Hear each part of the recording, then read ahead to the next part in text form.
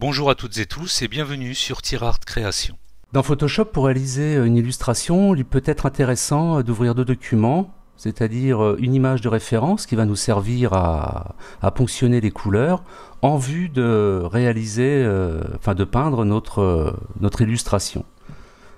Alors pour ce faire, il suffit d'aller dans le menu Fenêtre, réorganiser et de choisir mosaïque euh, horizontale ou verticale en fonction du format de l'image, sur paysage ou portrait, pour afficher à l'écran nos deux images.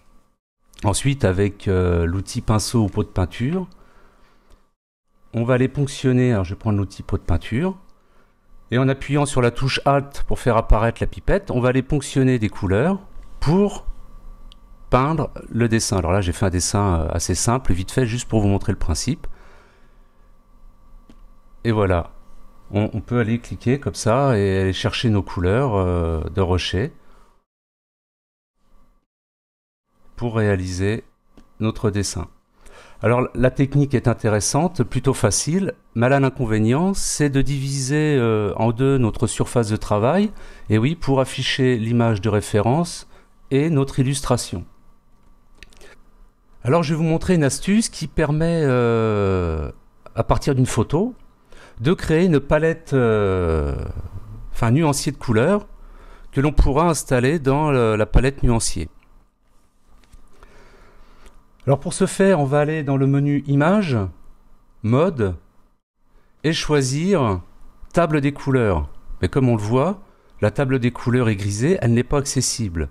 Pourquoi? Parce que il faut, avant cela, indexer les couleurs de cette image. Donc on va choisir toujours dans le menu Image, Mode, Couleur indexée. Une fenêtre apparaît. Et dans Couleur, on va choisir le nombre de couleurs que l'on veut, euh, veut récupérer, c'est-à-dire le nombre de couleurs qui va composer cette image. Alors pour créer un nuancier, généralement, on va entre 10 et 20 couleurs. Au-delà, ça fait beaucoup trop de nuances, euh, peu perceptibles d'ailleurs entre elles. Donc je vous conseille, en fonction de, la richesse euh, de, l'image, de choisir entre 15 et 20 couleurs.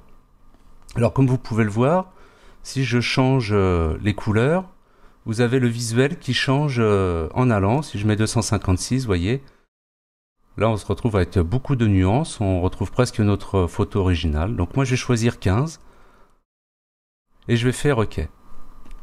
Donc là on a indexé notre image Enfin, on a indexé les couleurs de notre image. Et maintenant, en retournant dans le menu Image, Mode, là, on va bien voir que Table des couleurs, cette fois, est accessible. Donc, je choisis Table des couleurs. Et là, on voit les couleurs qui ont été soustraites, qui vont permettre de créer un nuancier.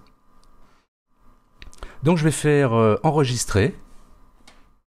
Je vais donner un nom à ce nuancier, donc je vais l'appeler euh, bord de mer. Et je vais aller l'enregistrer sur mon bureau. Voilà. Ensuite, dans le menu nuancier, en cliquant sur le petit triangle, je vais faire remplacer les nuances ou euh, charger un nuancier pour le rajouter, mais bon, pour qu'on comprenne bien, je vais faire remplacer le nuancier. Je vais aller chercher, voilà, mon bord de mer, c'est-à-dire le, nuancier que j'ai appelé bord de mer, et je vais faire charger. Et on voit notre nouveau nuancier apparaître. Maintenant, je vais pouvoir passer mon dessin en mode plein écran en appuyant sur la touche F pour avoir eh bien, une meilleure aisance euh, pour travailler. Voilà. Et on va continuer avec le pot de peinture pour faire simple et je vais pouvoir aller ponctionner euh, eh bien, mes, couleurs pour réaliser mon dessin. Voilà, comme ceci. Alors bien sûr, c'est un exemple assez vite fait. C'est juste pour qu'on comprenne bien le principe. Voilà, c'est la fin de ce tutoriel. J'espère que ces techniques vous aideront dans vos créations et je vous dis à bientôt sur TierArt Création.